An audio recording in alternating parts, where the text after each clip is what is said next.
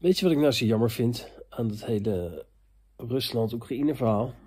Ehm, weet je, volgende week is het uh, voorjaarsvakantie. En ik had een weekje Lendel geboekt.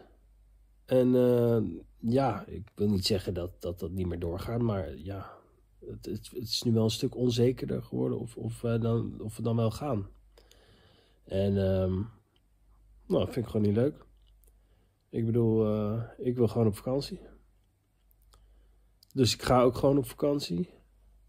Maar mijn, mijn hart is wel uh, in de Oekraïne natuurlijk. Huh.